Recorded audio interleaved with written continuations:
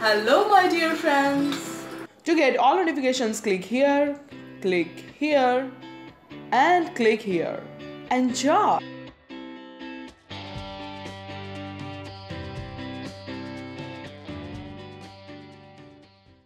कई लोग ये सोचते हैं कि हमारे परिवार में किसी को भी कैंसर या ऐसी कोई बीमारियाँ नहीं हुई तो फिर हमें क्यों ये सब होने का एक कारण हमारा फ़ूड भी होता है जी हाँ आजकल हमारे फ़ूड बहुत सारे केमिकल से लदे हुए होते हैं। क्या आपको पता है कि हमारे तक जो खाना पहुँचता है, उसमें कई सारे artificial chemicals antibiotics synthetic pesticides fertilisers और जेनेटिक मॉडिफिकेशंस और हॉर्मोन्स का प्रयोग किया जा रहा है। जिनकी वजह से कई सारी बीमारियाँ बच्चे, बूढ़े और जवानों में हो रही है। This is a serious issue तो आज हम इस वीडियो में इसी बारे में बात करेंगे कि क्या होता है नेचुरल ऑर्गेनिक और इनऑर्गेनिक फ़ूड और इसको कैसे पहचान सकते हैं। जनरली हम मार्केट जाते हैं और जो भी फ़ूड अट्रैक्टिव या दिखने में अच्छा लगता है, वो हम खरीद कर घर ले आते हैं। पर क्या हम जानते हैं कि ये फ़ूड हमारे तक पहुँचते पहुँचते कौन सी प्रोसेस या किस किस तरह से गुजर के आया है? दूसरा पॉइंट देखने जाए तो आजकल हमें पूरा साल सब सारे फ्रूट्स और सब्ज़ियाँ चाहिए होते हैं। अगर ये सीजनल नहीं है तो फिर ये आया कहाँ से? हम तक ये पहुँचा कैसे? क्या आपने सोचा है कभी? तो आइए जानते हैं क्या होता है ऑर्गेनिक या नेचुरल फ़ूड और इनऑर्गेनिक या conventional food.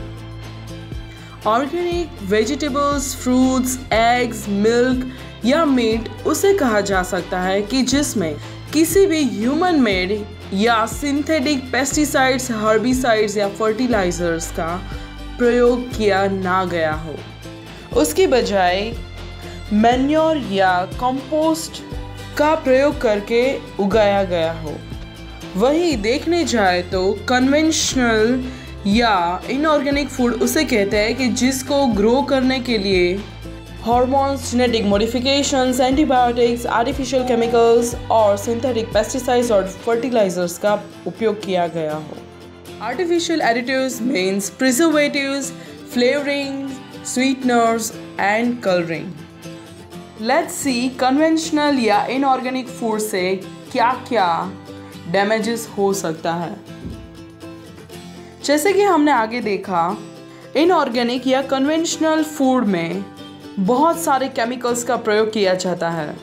तो अगर हम लंबे समय तक ये फ़ूड ले रहे हैं तो उसमें जैसे कि पहला देखें तो हॉर्मोन्स जो इंजेक्ट किए जाते हैं, फल सब्ज़ियाँ को जल्दी से पकाने के लिए, बड़ा करने के लिए, बड़ा दिखाने के लिए। ऐसा फ़ूड खाने से हमारे बॉडी में हार्मोनल इम्बेलेंसेस के हेल्थ इश्यूज़ हो सकते हैं। जैसे कि इनफर्टिलिटी या फिर क्रॉनिक मेंस्ट्रुएशन प्रॉब्लम दूसरा देखने जाए तो जीएम यानी कि जी जेनेटिक मॉडिफिकेशन ऐसा फ़ूड रेगुलर लेने की वजह से ये हमारे जेनेटिक्स पर असर करता है। जिसकी वजह से जेनेटिक हेल्थ प्रॉब्लम्स हो सकते हैं। The next one is antibiotics as we all know कि एंटीबायोटिक्स हमारे लीवर और किडनी के प्रॉब्लम्स क्रिएट करता है। हमारे लीवर और किडनी के फ़ंक्शन को बहुत ही ज़्यादा इंटरप्ट करता है। And the rest of are artificial chemicals जैसे कि synthetic pesticides fertilisers preservatives flavouring agents sweeteners colouring agents and additives ये सब हमारे फ़ूड में आता है, जो हम बाहर से खरीद के घर पे लाते हैं। चाहे वो अच्छे से अच्छे रेस्टोरेंट से हो, या फिर फैक्ट्री मेड हो।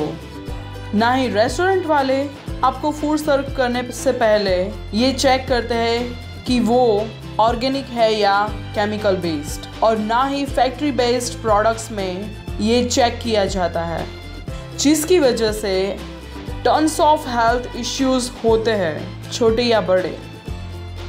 इसकी वजह से अगर बच्चों में हम देखें तो छोटे बच्चों में सफ़ेद बाल का आना, बहुत ही छोटी उम्र में और ऐसी बहुत सारी हेल्थ इश्यूज़ साथ में यंगस्टर्स में देखें तो ओबेसिटी बहुत ही कॉमन है। और ओल्ड एज ग्रुप में देखने जाए तो बहुत से डाइजेस्टिव प्रॉब्लम्स होते हैं। ये सिर्फ़ मैंने एग्जांपल्स दिए हैं, ऐसे टन्स ऑफ़ प्रॉब्लम्स जो शायद हम नज़र भी नहीं आते हैं, वो हमारे बॉडी में क्रिएट होते रहते हैं। ये सारे केमिकल्स उगाते समय वो क्रॉप्स पे डाले जाते हैं, जिसकी वजह से उस लैंड की फर्टिलिटी भी कम होती है। तो आप सोचिए, अगर वो ज़मीन की फर्टिलिटी कम कर सकते हैं। तो क्या हमारी फर्टिलिटी को नहीं? दूसरा पॉइंट उसमें से थोड़े केमिकल्स क्रॉप्स में जाते हैं या उसके ऊपर रहते हैं, जिसकी वजह से कोई भी इंसेक्ट उसे खाकर मर जाता है। तो क्या वो हमें डैमेज नहीं कर सकते?